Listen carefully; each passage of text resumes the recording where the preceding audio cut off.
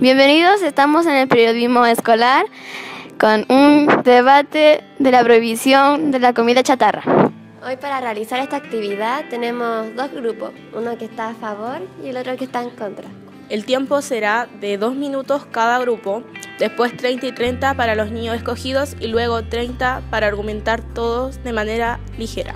Estoy a favor a que prohíban la comida chatarra porque eh, acorta la vida de los menores de edad. Estoy a favor que prohíban la comida chatarra porque lo tiene muchas calorías y, y grasas y lo hace mal para nuestra salud. Que tienen que tener más higiene porque como cuando hacen la comida en la calle y eso no es muy que tiene mucha higiene. Eh, yo estoy a favor de que se haga eso porque todas las personas van y comen y comen, incluso en la escuela lo pueden molestar mucho por la, obes por la obesidad. Ahora no, le toca al grupo en contra. Eh, yo quiero que no se prohíba la comida chatarra porque simplemente todos tienen eh, diferencia de elección. Por ejemplo, si alguien no quiere comer comida chatarra porque la encuentra mala, que puede estar obeso, que no la coma. Simplemente hay algunos que prefieren comerla y tener una vida obesa, eh, cosas así, sedentarismo, sedentarismo y todas esas enfermedades.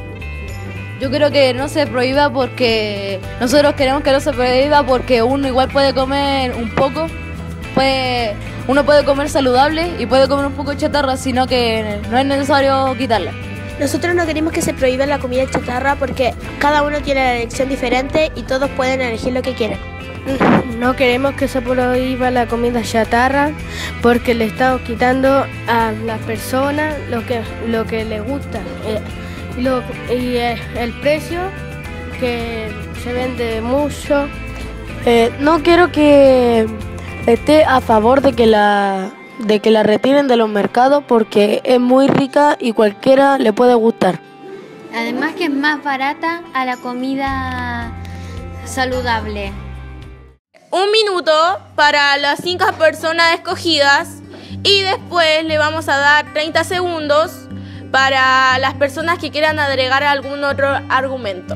Eh, yo, yo quiero que la, prohíba, la comida chatarra no se prohíba, ya que hay veces que hay gente que prefiere la comida chatarra porque es más barata que los vegetales, por ejemplo. Y además, por ejemplo, el chocolate que es comida chatarra, cuando una mujer está en su periodo, pues le levanta el ánimo, el ánimo, perdón, y puede estar mejor y no sentir tanta molestia.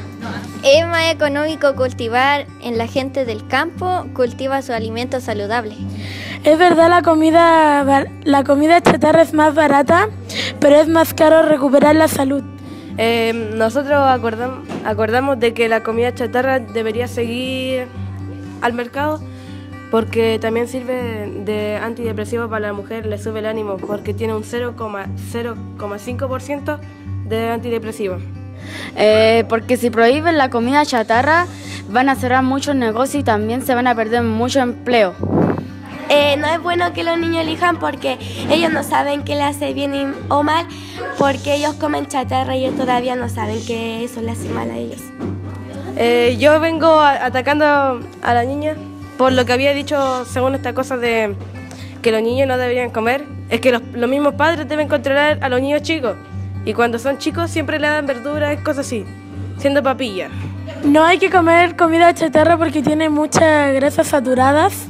No es necesario quitar la comida chatarra, sino que podemos comer un poquito más moderado, no comer en exceso.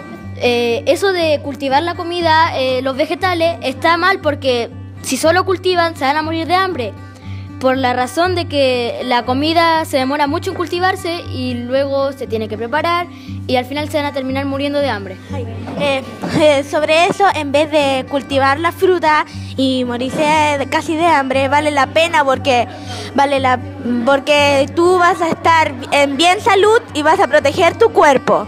Si plantamos los cultivos no importa porque algunos en la granja tienen animales y como sacan sus productos como los huevos de la gallina y además eh, pueden alimentarse mientras se cosechan los productos. Ya, chicos, em, para decirles, fue una decisión muy difícil ya que no tuve la opinión de mis compañeras, las otras juradas, y tuve que hablar con los profesores Y, igual fue difícil haber tomado esta, mm, esta decisión porque los dos grupos argumentaron muy bien. Y a pesar de que algunos tienen mucha razón y otros no, quien argumentó mejor opino que fue el grupo que estuvo en contra de que se prohíba la comida chatarra. Así que felicitaciones para ustedes.